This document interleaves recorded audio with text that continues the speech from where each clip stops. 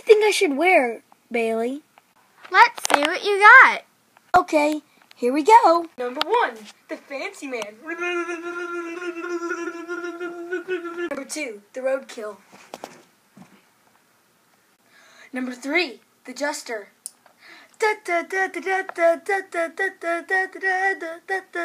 Number four, the karate master.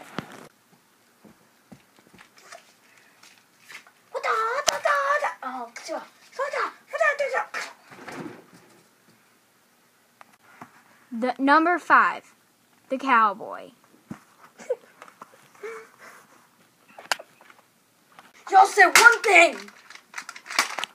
Number six, the noble hat. Hey, hey, it's that weird kid. Which one do you pick? They're all pretty good. What about this? Not like that. Come on, I keep missing.